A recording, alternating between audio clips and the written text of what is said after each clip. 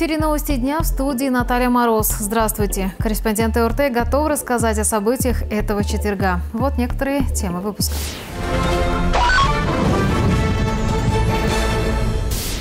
Дело экс-министра образования. В Ленинском суде проходит первое заседание.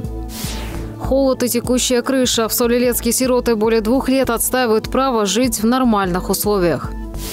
Первые экскурсии в парке «Салют Победа», когда оренбуржцы увидят экспонаты после реконструкции. На чем придется экономить? Эксперты анализируют рост цен на популярные продукты.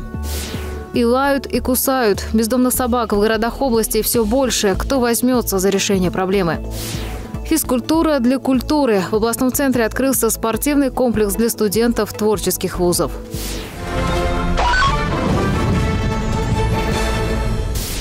Рассмотрение уголовного дела в отношении бывшего министра образования началось сегодня. Первое слушание проходит в Ленинском суде Оренбурга. На заседании Вячеслав Лабузов явился в сопровождении своего адвоката в боевом настроении. Так он сам сказал журналистам. Экс-чиновника обвиняют сразу по нескольким статьям. Превышение должностных полномочий, получение взятки в крупном размере, легализация имущества. Дело расследовал региональный ФСБ. По версии следствия, Лабузов 2010 по 2018 годы добивался заключения контрактов на ремонт образовательных учреждений с якобы подконтрольными ему строительными фирмами. Таким способом бывший министр обеспечил заключение более 125 договоров. Значительная их часть на сумму около полутора миллиардов рублей была подписана с подрядчиками без проведения конкурсных процедур. Также в указанный период, по версии следствия, Лабузов получал взятки имуществом и услугами. Подробнее о том, как проходит слушание в наших следующих выпусках. А пока к другим темам. Дом, в котором нельзя жить. Так о своих квартирах говорят жители Солилецка. Они получили их по решению суда, как дети-сироты и дети, оставшиеся без попечения родителей. Но так и не смогли в них заселиться. Причина – всему холод, постоянный шум и протечки. В проблемном доме побывали мои коллеги Ольга Энгельс и Константин Воробьев. Все подробности далее. Ольга Скрипникова рассказывает о жилье своего внука. В квартире тянет холодом от стен, без обогревателя не обходятся даже в теплые дни. Газовый котел работает почти на полную мощность. От батареи тепло, но и они не справляются, рассказывает женщина. С балконов э, дует. Как снег, даже в зал снег надувает. Крыша протекает. Вот недавно чуть-чуть даже э, снег и дождик, и то в квартире у нас пролило. Дом сдан в декабре 2018 года, но за это время он пережил уже несколько ремонтов. В первую зиму перемерзла система отопления. Оказалось, что там должна постоянно гореть лампочка Ильича и согревать общедомовую трубу. В прошлом году утепляли фасад. С этого года сюда заехал.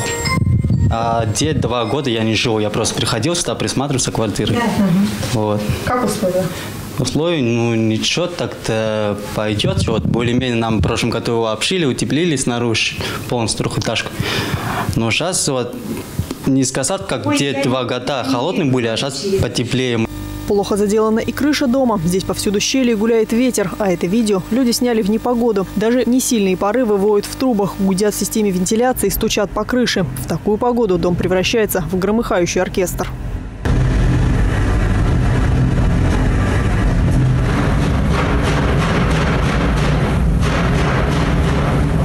Том, что дом в таком состоянии, в Солилецке знают все структуры. Полгода назад здесь побывали сотрудники районной прокуратуры и Следственного комитета. Пока все без изменений. Городская администрация продолжает принимать жалобы и обращения поступили обращения граждан о том, что есть какие-то недостатки в качестве предоставленных квартир.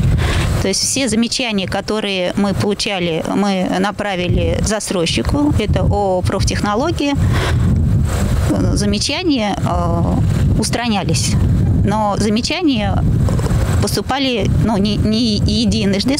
Проблемный дом не берет на обслуживание ни одна управляющая компания. Жильцы верхних этажей устали бороться с постоянными протечками. На первом – ледяные полы, рассказывают люди. Из 12 квартир здесь заселены только три. И только потому, что людям больше некуда идти. Почему трехэтажку приняли в таком состоянии, когда у людей появятся нормальные условия для жизни и кто понесет за всю ответственность? Официальный запрос мы отправили в региональный следственный комитет. Напомню, до конца 2023 года дом находится на гарантии.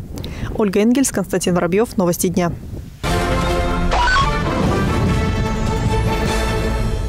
Первый этап реновации завершен. В Оренбурге продолжается реконструкция выставочного комплекса «Салют Победа». Что уже готово, сегодня показали журналистам. Основные изменения касаются входной группы. Старое плиточное покрытие заменено на гранитное. Из этого же материала выполнены скамейки и мусорные урны. В начале центральной аллеи создана новая экспозиционная площадка. Она получила название «Станция Оренбург. Возвращение победителей домой».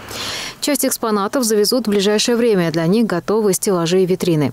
Также по проекту воссоздан перрон вокзала. На железнодорожных путях установлен воинский состав из паровоза и киновагона. Правда, о полноценном открытии говорить пока рано. По словам сотрудников комплекса, на данный момент обновление завершено лишь на малой его части к 9 мая э, мы работы не окончим, потому что их еще достаточно много. Здесь еще целый комплекс работ, связанных с э, музейной, с музейной спецификой, с навигацией, с освещением. Это все разделено на несколько этапов. И в зависимости от наличия средств мы эти этапы, собственно говоря, проходим. По данным Министерства культуры, на сегодня отреставрировано 21 единица техники. Это самолеты, танки и военные автомобили. Второй этап реновации должен завершиться до 2022 года. По плану предусмотрен текущий ремонт всех экспозиций. Уже сегодня на экскурсию по парку может попасть любой желающий, но в связи с пандемией это можно сделать только по предварительной записи. И перейдем к обновленным данным по коронавирусу в Оренбурге. За минувшие сутки, по официальной информации Федерального оперативного штаба, в регионе скончались 6 человек. С начала пандемии от COVID-19 умерли уже 498 жителей области. Общее число заразившихся превысило 34 709. За последние 24 часа тесты подтвердили вирус у 154 человек. Справились с недугом 30 905 оренбуржцев. Сейчас прервемся и вот о чем расскажем далее в программе.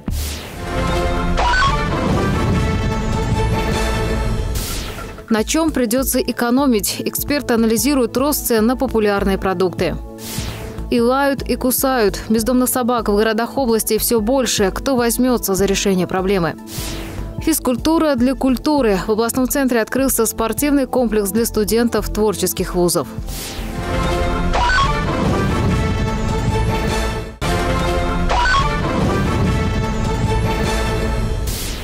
Ну а сейчас к новостям экономики. Цены на овощи продолжают расти, а стоимость муки впервые перестала увеличиваться за последние три месяца.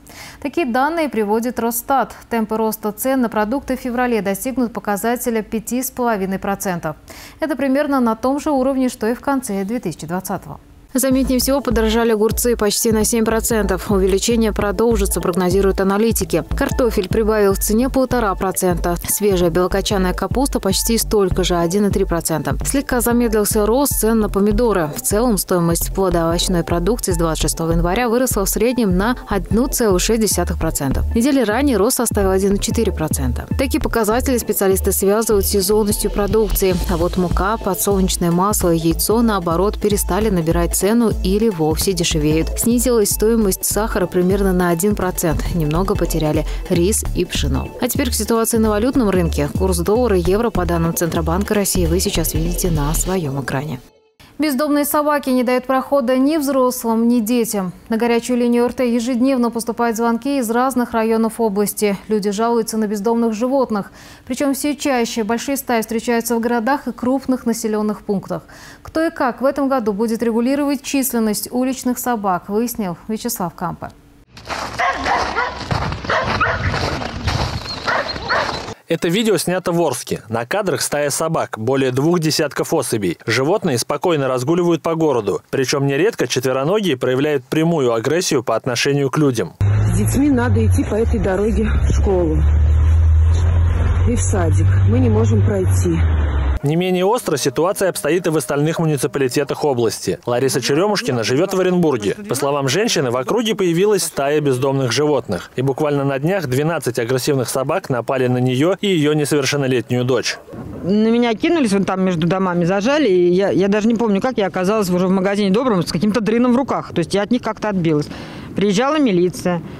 Потом в субботу я ходила, дочь провожала, опять на нас кинулись собаки. Но это же ненормально. Опять приезжала милиция. Все в один голос говорят, что мы ничего не можем сделать, у нас нет закона. Агрессию среди бездомных собак оренбуржцы замечают все чаще. Причем жертвами нападений становятся не только люди, но и другие животные. Биологи говорят, что главная причина такого поведения – защита своего ареала обитания. Уличные собаки имеют мощный иммунитет и высокий коэффициент выживаемости потомства. Поэтому часть специалистов уверена, что решить проблему растущей численности отловом и стерилизацией стерилизации не получится. Да, кобели, стерилизованные или кастрированные кобели, действительно, они становятся менее агрессивными. То есть мы о чем говорим? Об агрессии, прежде всего агрессивном. Что нельзя сказать о суках? Существует исследование, и личным опытом подтверждено, что стерилизованные суки становятся даже более агрессивными, нежели чем до стерилизации. Вместе с тем в стране второй год действует новый закон об ответственном отношении к животным. Он запрещает отстрел четвероногих. Взамен предлагается целая схема. Бездомную собаку необходимо отловить, поместить в приют, вакцинировать, стерилизовать, чипировать, а потом выпустить в естественную среду обитания, то есть обратно на улицу. Эксперты говорят, что это не только дорого, но и сложно реализуемо.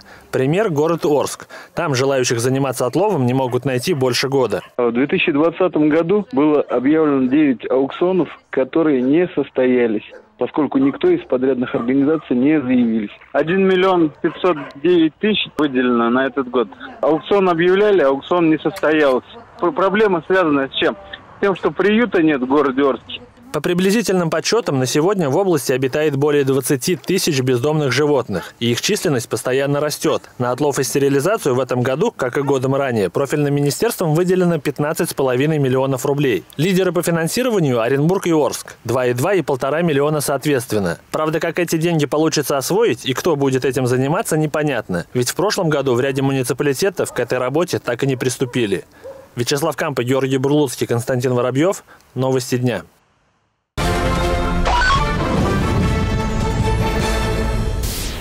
Далее новости спорта. В Оренбурге открылся универсальный физкультурно-спортивный комплекс для творческих образовательных организаций области.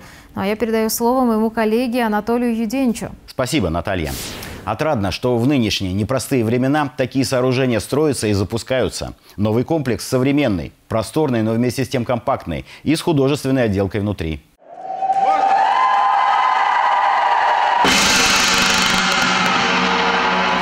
Вместо привычного разрезания ленточки губернатор Оренбуржья бьет в гонг. Преподаватели и студенты сферы культуры и искусства нашего региона впервые получают свой спорткомплекс. Здесь будут проходить физкультурные занятия сразу для трех образовательных учреждений области. Института искусств имени Ростроповича, колледжа культуры и, наконец, художественного колледжа, на базе которого и возведен спортивный центр. Полтора года назад губернатор Денис Паслер пообещал построить такой объект. И вот решение притворено в жизнь.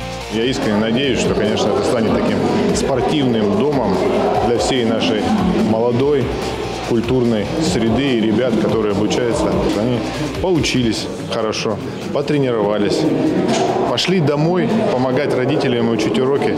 Это то, что нужно для того, чтобы быть востребованы, с одной стороны, с другой стороны, чтобы иметь все возможности для самореализации. Мне кажется, здесь они появились, и я очень рад за ребят и за нас, за всех. Комплекс включает в себя стадион и два зала. В первом установлены кардио и силовые тренажеры, а также оборудование для атлетической гимнастики. Второй зал универсальный, предназначен как для занятий в урочное время, так и для проведения соревнований по баскетболу, волейболу, настольному теннису. Уложено современное паркетное покрытие. В наличии все помещения инфраструктуры. Стены и интерьер оформлены орнаментом в авангардном стиле. Есть и стадион с беговой дорожкой, искусственным покрытием и различными секторами. Расписание занятий на этот год уже сверстано и заполнено. Простоев не будет. Казани прошел чемпионат округа по настольному теннису. Соревнования собрали около 200 спортсменов из 11 территорий региона. Оренбуржье представляли ведущие игроки Центра настольного тенниса. В командном турнире мужская сборная в составе Ивонина, Березина, Регентова и Алчимбаева заняла второе место, уступив первенство хозяевам, татарстанским игрокам. Женщины стали третьими. В личном разряде Ивонин взял серебро, Березин – бронзу. Также оренбургские теннисисты стали призерами в парных соревнованиях и миксте. Причем Ивонин в паре с нижегородцем Черновым завоевали золотые медали. Наталья. Спасибо, Анатолий. О спорте все и даже больше. В каждом выпуске новостей не пропустите. И в завершении о погоде. По-весеннему теплая, она бьет все рекорды. Эта зима войдет в историю наблюдений как одна из самых теплых. Завтра, в пятницу, в Оренбурге вновь ожидается плюсовая температура. По области будет облачно с прояснениями. Местами возможны небольшие осадки в виде мокрого снега или дождя. В большинстве районов густой туман. В течение всего дня меняться будет только плотность. Температура воздуха ночью опустится до минус 7 градусов. Днем возможно повышение до плюс 2. Ветер слабый, южного направления, с порывами до 10 метров в секунду. Атмосферное давление низкое, 745 миллиметров ртутного столба. В областном центре преимущественно пасмурно. Солнце выглянет сквозь облака лишь в середине дня на несколько часов, без осадков. Плотный туман не покинет Оренбург. В утренние часы вероятно образование гололеда. Ветер слабый. Температура воздуха в ночные часы до минус 5, днем около нуля. Атмосферное давление 747 миллиметров ртутного столба и продолжит падать. На этом все. Напоминаю, эту и другие программы вы всегда можете найти на нашем официальном сайте media56.ru, а также присоединяйтесь к группам в социальных сетях. Всего доброго и хорошего вам вечера.